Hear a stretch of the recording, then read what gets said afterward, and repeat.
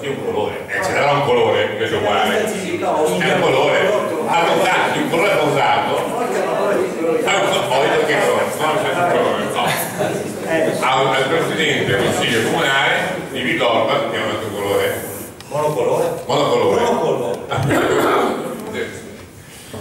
grazie a tutti, buonasera. Eh, noi, io rappresento l'amministrazione di Villorba con i saluti del sindaco Serena che questa sera non può essere presente qui con noi. Il nostro è un monocolore verde.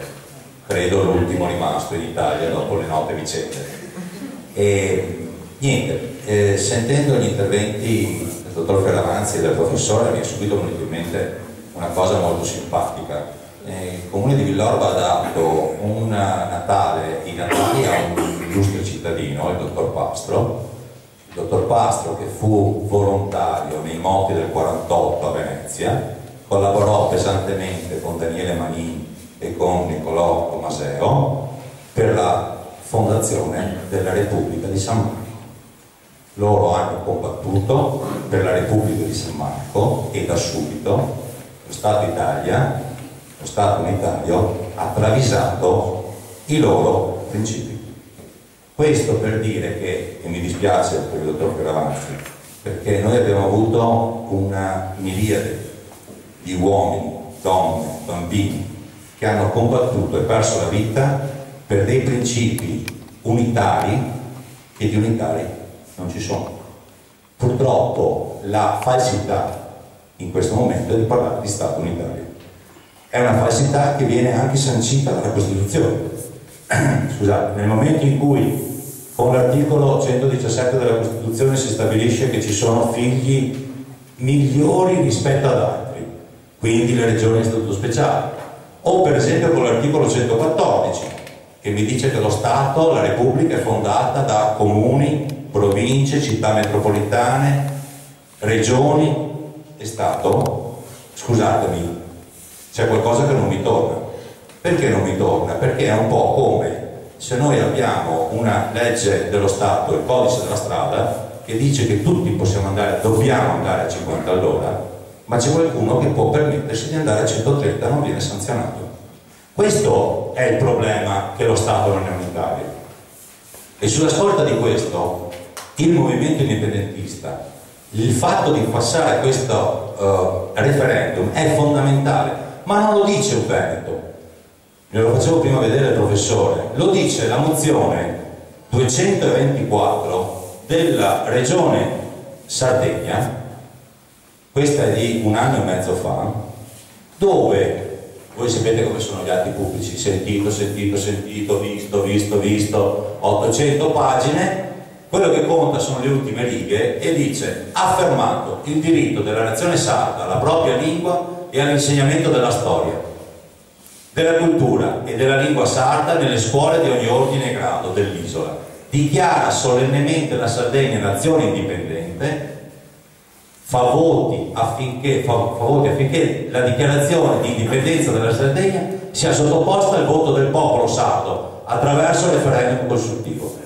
mi scusi sindaco, anche loro hanno votato sulla Costituzione, hanno giurato, però proprio perché la Costituzione permette di poter fare un passaggio legale, democratico, per parlare di indipendenza di un popolo, questo non vuol dire che il suo giuramento venga meno. Questo è il problema.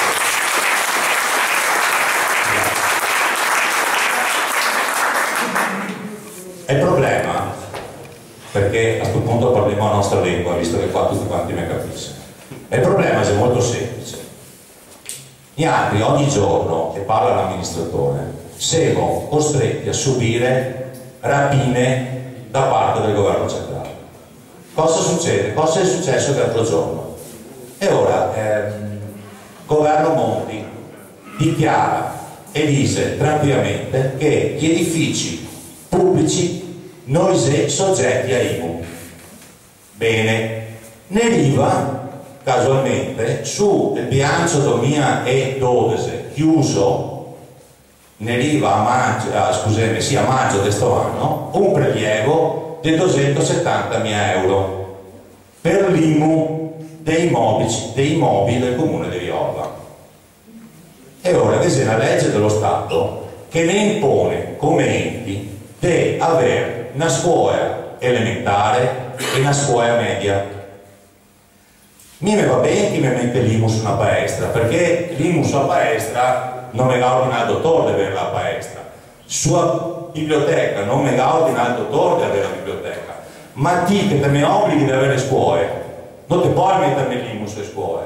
Ha un bilancio sarà questa casa mia è rapina. È rapina perché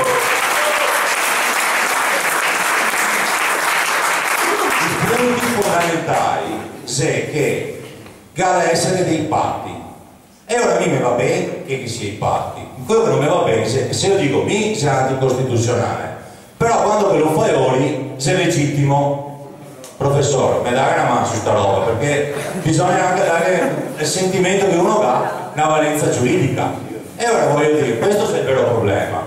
Niente non potremo ogni due mesi avere un cambio del patto di stabilità sul, sul patto di stabilità, un cambio di regole. Non sei in grado di programmare niente, non sei in grado di fare niente e quindi che c'è bisogno che, che sia delle regole, che sia chiare, precise, puntuali, che solo l'indipendenza può dare.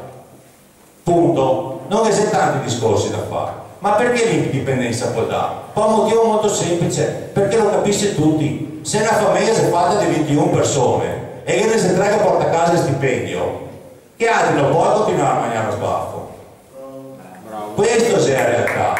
Questo è il allora il comune di Villorba ha dato, perché adesso parlo dell'istituzionale perché abbiamo anche il cittadino istituzionale di Villorba, ha dato la residenza, perché non è di origine, al professor Antonini.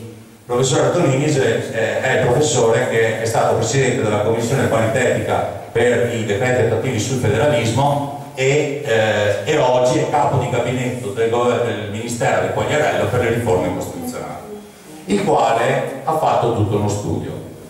È vero che i siciliani, i calabresi, le regioni del sud sono state sfruttate pesantemente per il voto di, di, di scambio, però è altresì vero che 16 dipendenti per posto letto in regione Calabria. E i calabresi viene qua a farsi curare in teoria è la regione che ha più dipendenti per posto letto in Italia e che su, dovrebbe essere fiore all'occhiello.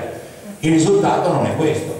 È vero che abbiamo in comune di Villorba 90 dipendenti comune di una regione qualsiasi campana con 18.000 abitanti 330 dipendenti. Signori ma non sei 330 si chiama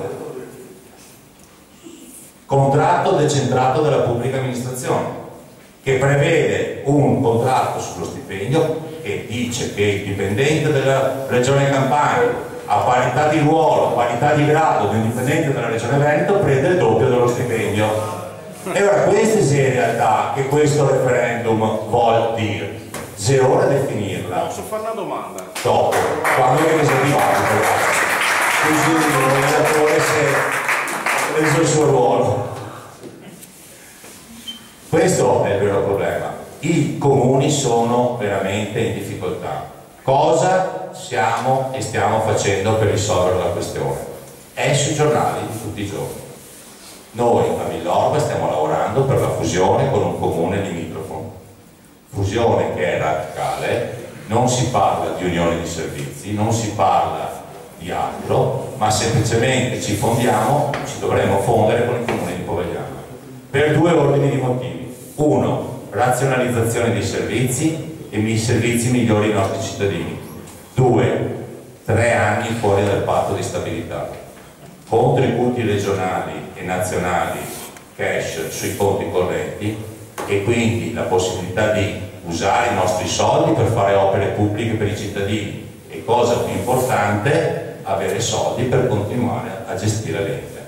Signori, purtroppo questa è la via, fino a quando saremo costretti e assoggettati a chi è pari a noi per Costituzione, ma non di fatto perché ci considera dei vassalli. Grazie.